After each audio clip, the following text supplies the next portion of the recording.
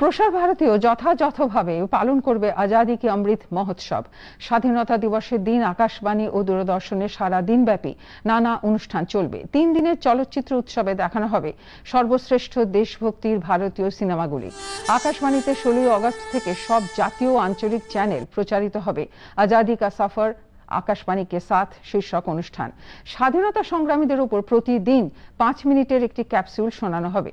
DD নিউজে প্রতিদিন সকাল আটটা কুড়িতেও আটটা পঞ্চাশে ডিডি ইন্ডিয়াতে সম্প্রচারিত হবে বিশেষ অনুষ্ঠানও।